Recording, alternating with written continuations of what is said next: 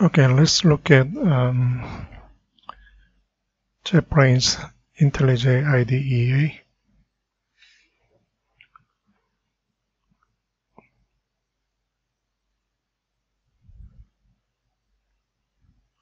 Okay, click um, download. I will download community editions. So JetBrains runtime 11.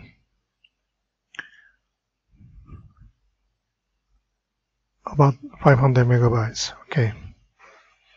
I already downloaded. So installation is straightforward. Just double click.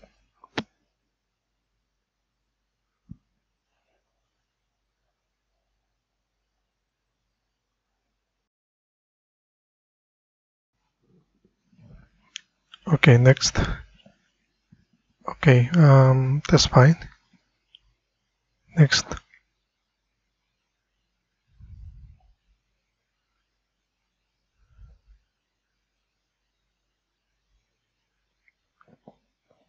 Um, here I may click 64 bits launcher on my desktop. So if you like to have a shortcut, you may tick first one. Next.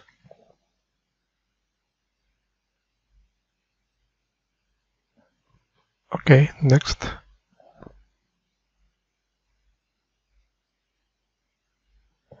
Again, uh, it will take a few minutes to install on your hard disk drive.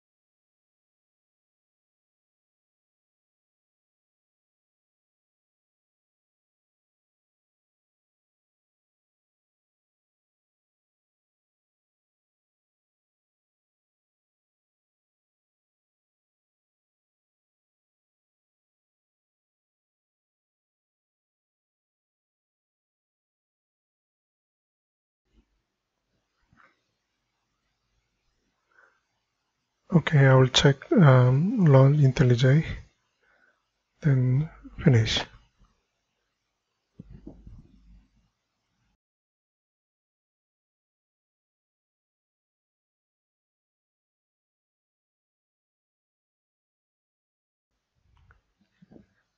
Okay, the first time will take uh, for a while to launch IntelliJ IDEA.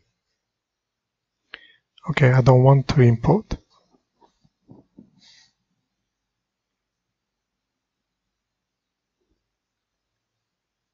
Okay, uh, I confirm. Continue.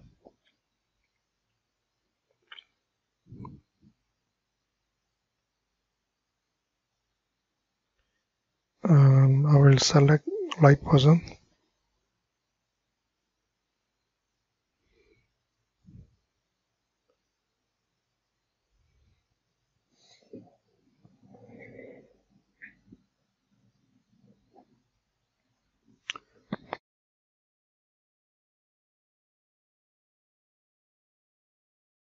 want to show you uh, what's available.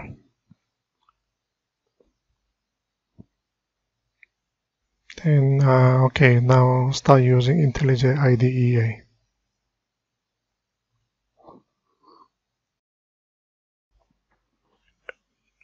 Again, it will take a uh, few seconds. So let's wait.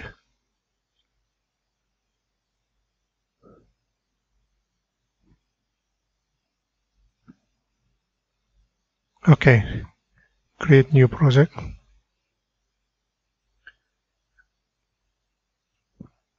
Okay, I will select um, Java version 11. Next. Okay, um, I think I will create sample Java Hello World. Uh, this is project name, so it's a good idea to name it and uh, have a look at project location as well.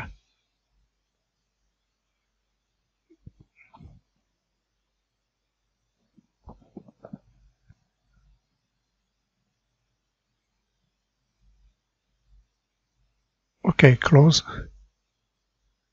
Let me enlarge it. Okay, I like to see actually projects. So under projects we have source code called main. So that is actually main.java. And uh, we have uh, one, two, three, four, six lines. Okay, IntelliJ IDE Community Edition 2019.1.1.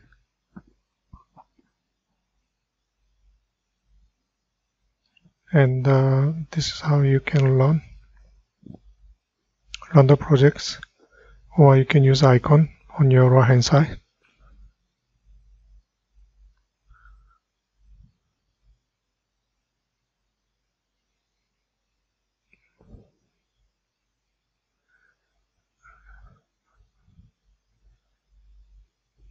Again it will take a bit of a time at the beginning you can see underneath there is a build.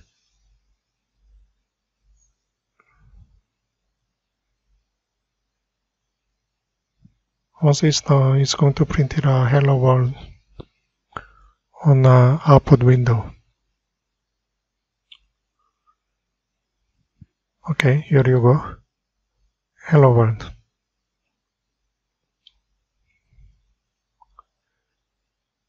Okay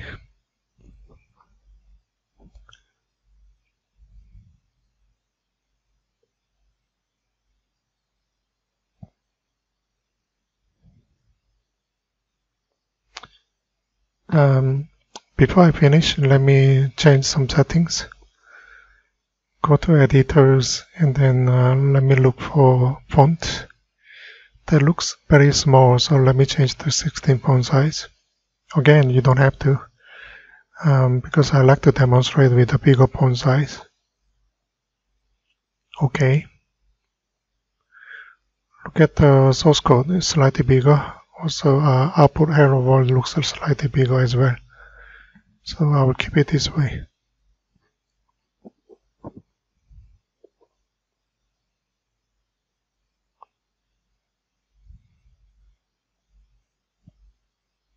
Again uh, you can learn uh, main class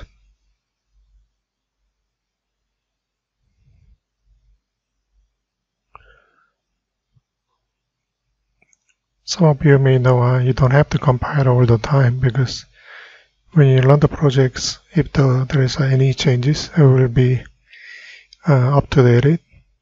It means it will be saved, then compiled, then it will run um, main methods.